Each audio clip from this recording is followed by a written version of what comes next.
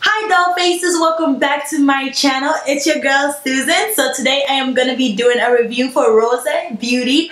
I have in their hair in the 12, 12, 12 and a 12 inch frontal. I did cut this hair myself. The hair came in shoulder length. It was really, really soft. The um, delivery process was really, really good. And they had a really nice packaging. Rosa Beauty is an AliExpress company, but their packaging is very exquisite as you guys can see. They put a lot of effort into their work. Their hair is actually the softest.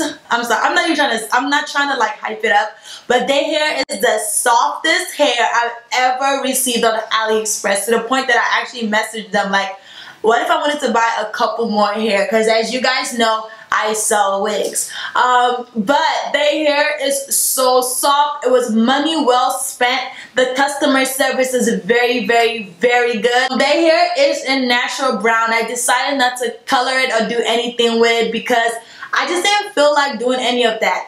As you guys notice, I actually stopped using um, Got To Be gel on my edges because my edges has not been pretty with that. So I'm going to be making a different video about my Got To Be gel experience. But all I used was an elastic band. I will show you guys my new updated how I make my wig video which will be coming up I think in uh let's give it a month or so.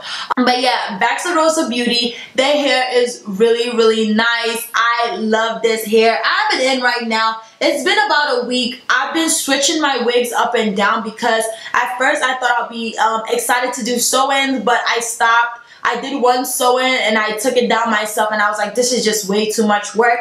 And I just found that the, the secret to keeping your frontal down is just the elastic band and that's what I have on right now. I do not have any gel in my hair or anything. I could snatch this off and put on a different wig. I hope you dolls enjoyed this video. Please go ahead and check out Rosa Beauty. I'm to put all their information in the description down below and I'll catch you guys next week. Stay blessed and stay fabulous. Love you.